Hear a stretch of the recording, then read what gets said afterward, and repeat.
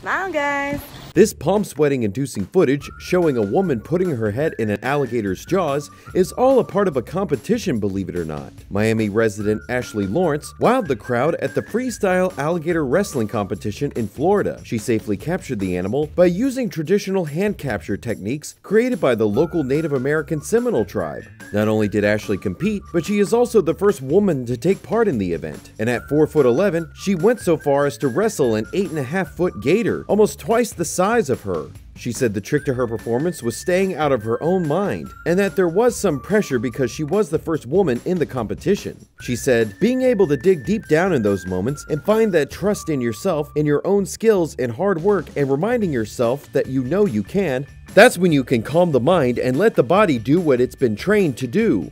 Overall, Ashley placed 5th out of 10.